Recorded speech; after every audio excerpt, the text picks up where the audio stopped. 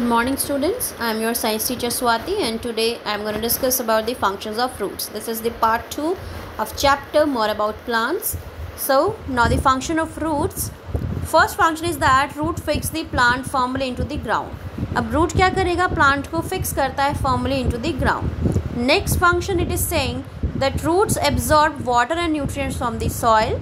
अब root जो है soil से water और nutrients absorb करती है and these help the plant to survive and grow. अब बिकॉज़ रूट जो है न्यूट्रिएंट्स और वाटर सॉइल से एब्जॉर्ब कर रही है तो ये चीज़ प्लांट को ग्रो करने के लिए और सर्वाइव करने के लिए हेल्प करती है। Third function is basically the roots held the soil particles together अब रूट्स जो हैं सॉइल पार्टिकल्स को टुगेदर हेल्ड करती हैं and thus prevent soil erosion और सॉइल इरोजन को प्रिवेंट प्रिवेंट करती है बाय विंड और the running water fine root क्या करती है? सॉइल पार्टिकल्स को बाइंड करती है और सॉइल इरोजन प्रिवेंट करती है बाय विंड और soil water now soil erosion का मतलब है carrying away of soil particles कि सॉइल पार्टिकल्स दूर दूर ना चले जाएँ हवा की बहाव से या पानी के बहाव से तो सॉइल इस चीज़ को रोकती है। बेसिकली रूट्स को सॉइल बेसिकली रूट्स क्या करती है? सॉइल पार्टिकल्स को बाइंड करके रखती हैं। तो सॉइल जो है इरोजन बेसिकली लेस फेस करेगा अगर आपकी रूट्स जो हैं सॉइल पार्टिकल को बाँध के रखेंगे तो। सो so, रूट्स क्या करती हैं? सॉइल पार्टिकल्स को टुगेदर बाँध के रखती है होल्ड करके रखती हैं। सो दैट सॉइल इरोजन ना हो या carrying away of soil particles ना हो बाय द विंड और the running water now it is saying, did you know desert plants have relatively longer roots so that they can penetrate deep into the soil in search of water? जो desert plants होते हैं, उनकी roots काफ़ी long रहती हैं नीचे ground में so that because पानी की वहाँ थोड़ी कमी होती है इस वजह से तो जितनी ज़्यादा लॉन्गर रहेंगी डाउन द ग्राउंड तो वो ईजिली पैनिट्रेट कर जाएँ सॉइल के अंदर deeply in search of water so water की सर्च में ही ताकि वो इजीली पानी की सर्च कर सकें। अंडरग्राउंड दैट इज़ में उनकी जो रूट्स होती हैं वो लॉन्गर होती हैं और वो deeply down so into the soil penetrate कर जाती हैं। So this is the function of roots now the next is the activity in this activity it is uh, mentioned that to observe how roots help to fix the plant in the soil. अब किस तरीके से roots जो है uh, plant को soil में fix करती है या उस चीज़ में हेल्प करती है? फाइन प्लांट्स को सॉइल में फिक्स करने में कैसे हेल्प करती है? How roots help to fix the plant in the soil method क्या है? Try pulling out a handful of grass along with it roots with your hands is saying कि अपने हाथों से बेसिकली अपने हाथों से क्या करना है आपको? ग्रास को पुल आउट करना है from its with with its roots and now use a garden shovel to carefully dig out a small patch of grass along with roots और उसके बाद आप क्या करेंगे, एक गार्डन का शॉवल यूज़ करेंगे सो so दैट आप एक स्मॉल पैच ग्रास का डिग आउट कर सके with its roots from the ground so ground से आपको स्मॉल पैच ऑफ़ ग्रास निकालना है विद इट रूट्स फाइन अब ऑब्जर्वेशन आप क्या देखेंगे? Which method was easier pulling out the grass with hands और digging with the help of garden shovel do you think so you have to observe and think you will may you will basically feel out that कि जो, पहले आपने हाथ से घास खींची मुट्ठी भर के घास खींची रूट समेत सेकेंडली आपने शॉवल का यूज़ किया। तो कौन सा मेथड इजी है?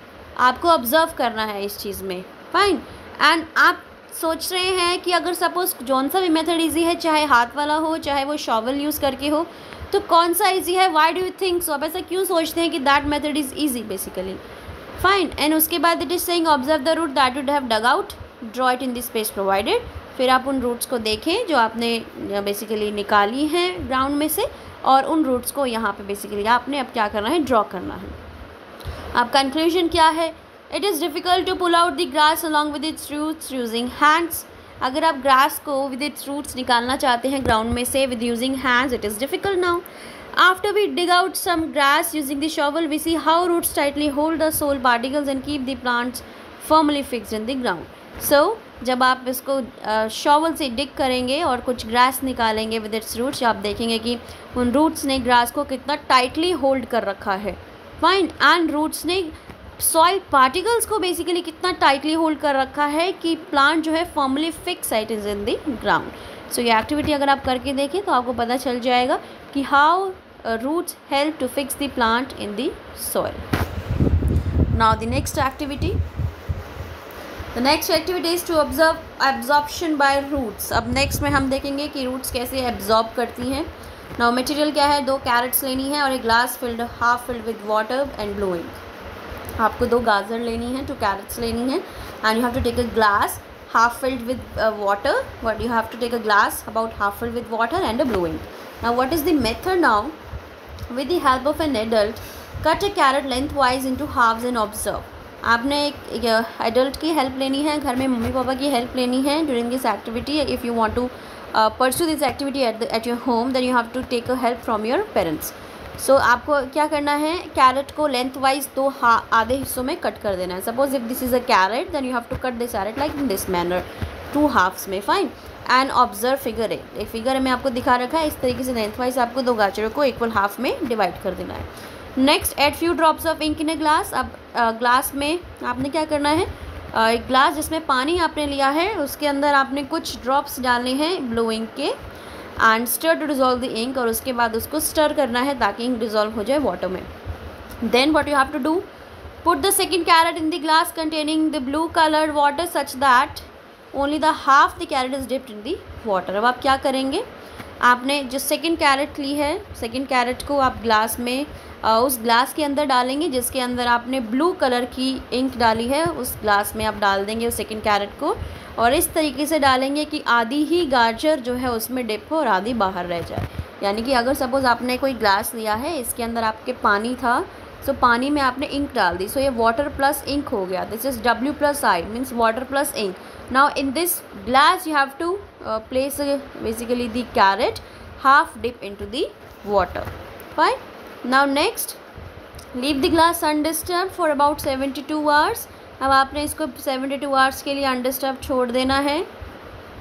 Next it is saying after seventy two hours with the help of adult cut the second carrot length wise into halves and observe उसके बाद सेवेंटी टू आवर्स के बाद अपने पेरेंट्स की हेल्प लेनी है आपको और उसी कैरेट को फिर से लेंथ वाइज कट करना है इन टू हाफ्स और ऑब्ज़र्व करो कि क्या वहाँ पे आपको दिख रहा है अलग सी चीज़ जो पहले वाली कैरेट में नहीं थी, जिसको आपने इंक में डिप नहीं किया था। फाइन अब ऑब्जर्वेशन क्या है? That are both the carrots of the same colour after you have cut them क्या दोनों कैरेट्स का कलर सेम होगा काटने के बाद?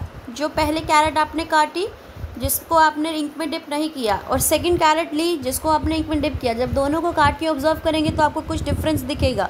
In what way are they same और different why do you think this second carrot appear coloured inside अब second carrot आप देखेंगे कि अंदर से कलर्ड है वो। अब वो कलर्ड क्यों है? How did the colour reach the parts that were above the water level अब वो कह रहे हैं कि कैसे इस कैरेट के अंदर वो कलर्ड पार्ट रीच कर गया, जो कि आधी कैरेट तो पानी के बाहर है। आधी कैरेट पानी के अंदर है, आधी कैरेट पानी के बाहर है। तो अगर आधी पानी के बाहर है तो उस वहाँ तक भी एक कैसे रीच कर गई आपकी? फाइन सो ये चीज़ आपको क्वेश्चन है कि आप ये चीज़ ऑब्ज़र्व करेंगे। जब आप ये एक्टिविटी करेंगे तो इसकी कंक्लूजन ये है the carrot we eat is the root of the plant so जो कैरेट हम खाते हैं ना बेटा, ये किसी प्लांट की रूट है। The blue colour water was observe by the carrot and was carried upward तो वाटर में जो आपने ब्लू कलर की इंक मिक्स करी है, वो वाटर ने बेसिकली कैरेट ने क्या किया, वो एब्जॉर्ब कर ली और एब्जॉर्ब करके ऊपर की तरफ़ वो कैरी आउट हो गई ऊपर की तरफ़ वो राइज कर गई। Thus the blue colouring was seen from the bottom to the top of the carrot that is why वो ब्लू ब्लू कलर बेसिकली आपको बॉटम से लेके टॉप ऑफ़ द कैरेट नज़र आ रहा है। तो कैरेट इज़ अ रूट उसने blue ink absorb करी. ऑब्जॉर्व करने के बाद उसको ऊपर की तरफ़ फ्राइज कर दिया. So that is why it is seen blue in colour from the top to the bottom of the carrot so this is the activity so today in this video this is it in the next video I discuss the next part of this chapter